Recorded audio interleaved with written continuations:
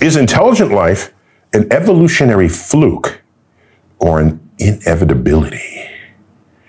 Ooh, well, a couple of things. How inevitable could intelligence be if we're the only intelligent life on Earth and Earth has been around for 4.8 billion years? If it were inevitable, you'd think it would show up more frequently in the tree of life, but it hasn't. So it's not clear how inevitable it is. If aliens came to visit looking for intelligent life and they arrived half a million years ago, that's tiny compared with the history of the Earth. We're not here yet.